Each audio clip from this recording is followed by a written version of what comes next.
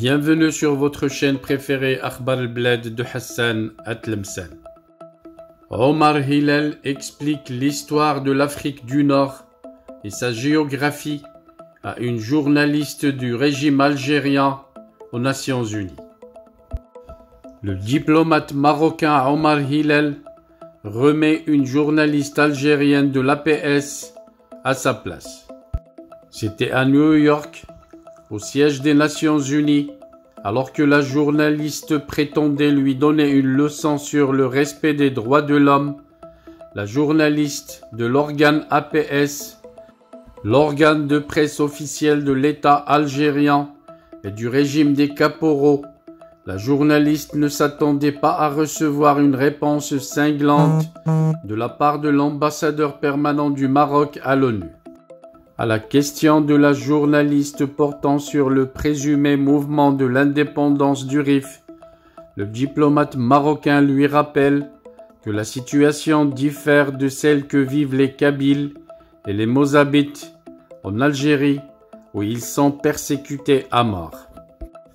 Le Conseil de sécurité de l'ONU qui s'était réuni le 27 octobre dernier à New York avait décidé de proroger jusqu'au 31 octobre 2023 le mandat de la mission des Nations Unies pour l'organisation d'un référendum au Sahara marocain, la résolution 2654 a adopté à cet effet par 13 voix contre 2 abstentions.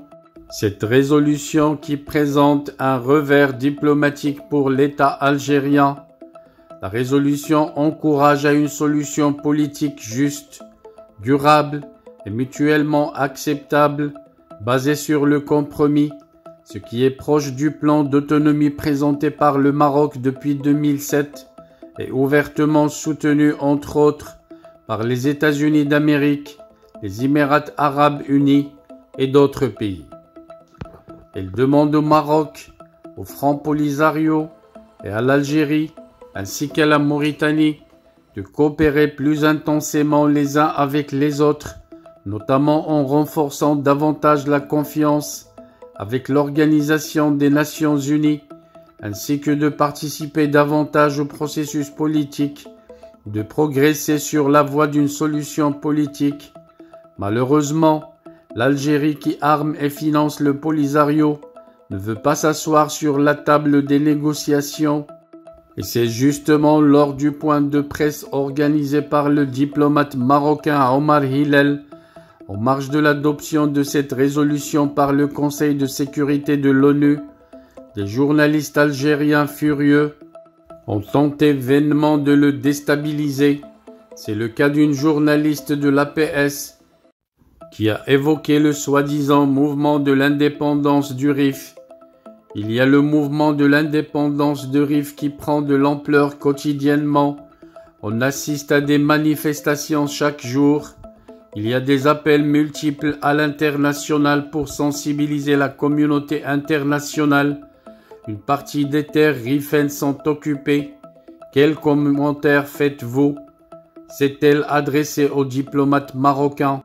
C'est alors que Omar Hillel a expliqué à la journaliste algérienne que le traitement réservé par le gouvernement du Maroc aux manifestants du RIF diffère de la riposte répressive réservée par l'État algérien aux Kabyles et aux Mozabites de Rardaya. Qu'est-ce que je pense? Tout simplement, au Maroc, il y a une démocratie. Tous ceux qui ont une opinion différente qui peut être différente du gouvernement peuvent s'exprimer.